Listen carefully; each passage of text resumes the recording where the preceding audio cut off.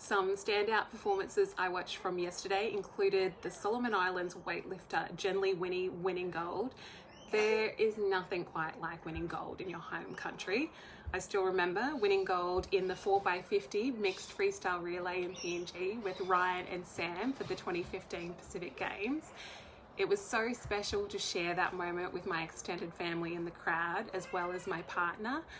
I saw some highlights of the basketball games and of course the swimming finals in the evening.